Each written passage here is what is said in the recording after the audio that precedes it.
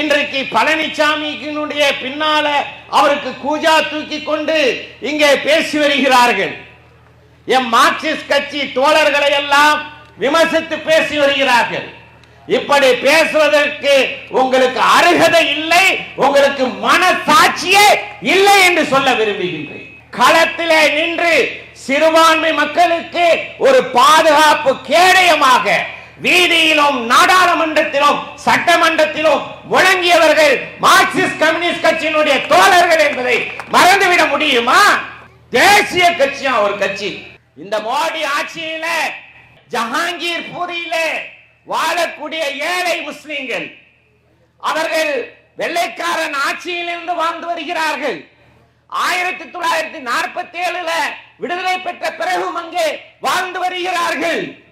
அப்போதெல்லாம் அது ஆக்கிரமிப்பு என்று தெரியவில்லை.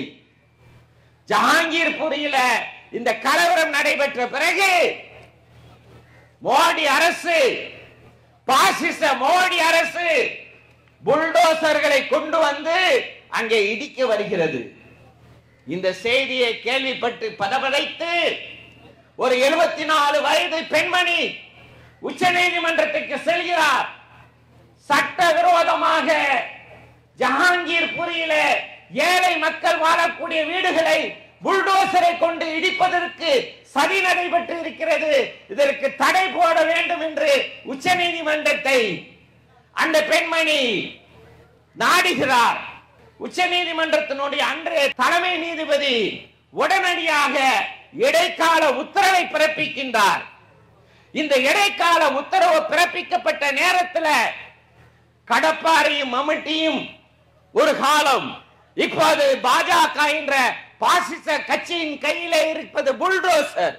புல்டோசர்களை கொண்டு வந்து ஜஹாங்கீர் புரியில் இருக்கக்கூடிய ஏழை மக்களுடைய வீடுகளை இடிப்பதற்கு எல்லா நடவடிக்கைகளும் எடுக்கப்பட்டு வரும்போது ஒரு எழுபத்தி நாலு வயது பெண்மணி வீராங்கனை அங்கே வருகிறார். வந்து அந்த புல்டோசருக்கு முன்னால் நிற்கிறார். என்னை இடித்து தள்ளிவிட்டு நீ வீடுகளை இடி என்று சொன்ன அந்த எழுபத்தி நாலு வயது வீராங்கனை வேறு யாரும் இல்ல. மார்க்சிஸ்ட் கம்யூனிஸ்ட் கட்சியினுடைய போலிட் பியூரோ உறுப்பினர் அருமை சகோதரி பிரிண்டா கேரட் என்பதை மறக்க முடியுமா? தேசிய கட்சியா? எங்கடா போனீங்க? ஜஹாங்கீர் புரியல எங்க மார்க்சிஸ்ட் கம்யூனிஸ்ட் கட்சியினுடைய தோழர்கள் அன்று தலையிட்டு ஜஹாங்கீர் புரியல நடைபெற்ற அந்த இடிப்பு நடவடிக்கையை தடுத்தார்கள். இதோ நிற்கிறார் நம்முடைய வீராங்கனை எழுபத்தி நாலு வயது எனவே மார்க்சிஸ்ட் கம்யூனிஸ்ட் கட்சியை பத்தி பேசுவதற்கு உங்களுக்கு என்ன யோக்கியம் இருக்கின்றது?